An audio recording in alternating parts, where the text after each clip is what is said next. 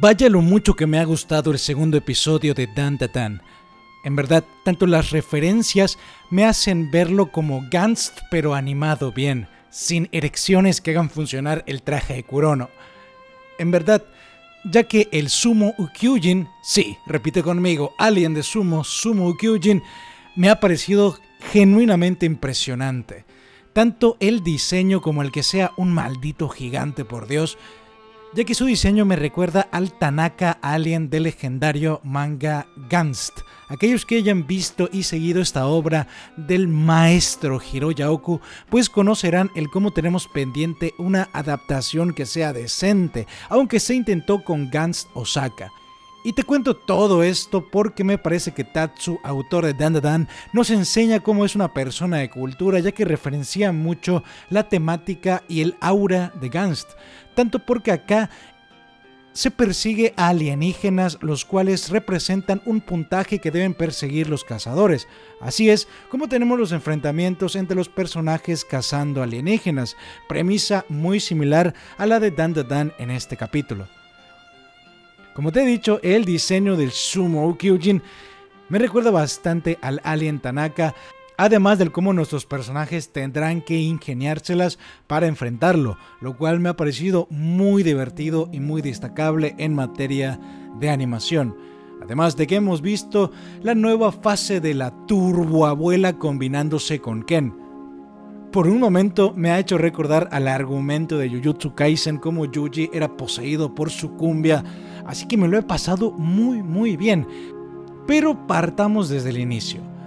Lo primero que me ha gustado del capítulo es el enfoque que tiene con respecto a Japón. Vemos acá los pueblos y las áreas rurales.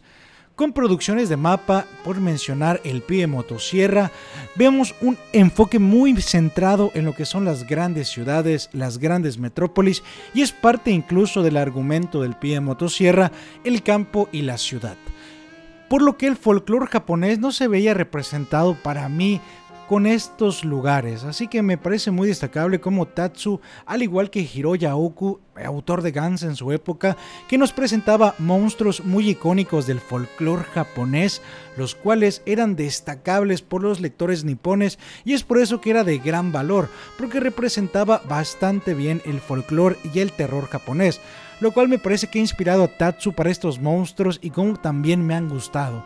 Así que toda el aura de Gans se ve homenajeada de manera increíble, además de la gran animación, porque este capítulo tiene mucho mejor animación que el anime viejito de Gans, aunque he de decir que su opening está buenardo.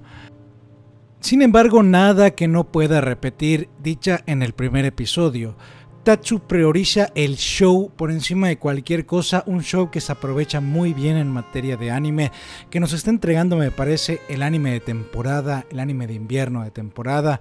Me ha gustado bastante en verdad que sea en blanco y negro el recurso técnico que han utilizado para el Sumo Kyujin, también lo divertido que ha sido esta pelea, porque como he dicho, me la pasé simplemente bien, es lo que esperaba ver de un anime de Gans y me lo está regalando Dan Dan por lo que vine encontrando cobre y encontré oro. No puedo estar más feliz, pero como saben, yo cuando veo anime vengo a pasarla bien. Y la premisa de Dan Dan como la premisa de Gans eran justamente eso, cazar alienígenas y pasársela bien. Por lo que me ha gustado tanto el argumento, la animación y absolutamente todo. Únicamente ponte a verlo y continuemos, ya que mañana se estrena Dragon Ball Daima.